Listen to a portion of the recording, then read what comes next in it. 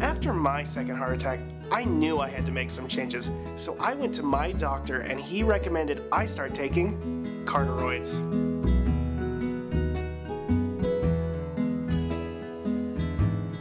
Thanks to Cardiroids, I'm able to maintain the same grease-based diet without the constant fear of another heart attack looming over my head.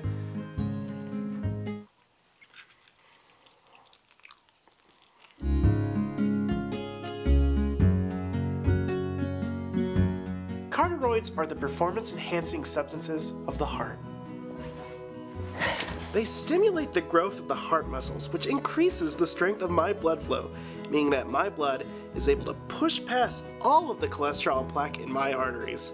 That way, I don't have to worry about things like myocardial infarctions or coronary artery disease.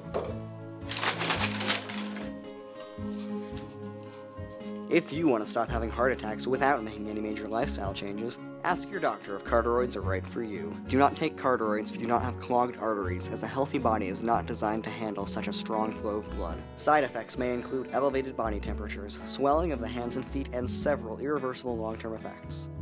I decided that two heart attacks were enough. That's why I started taking Cardiroids.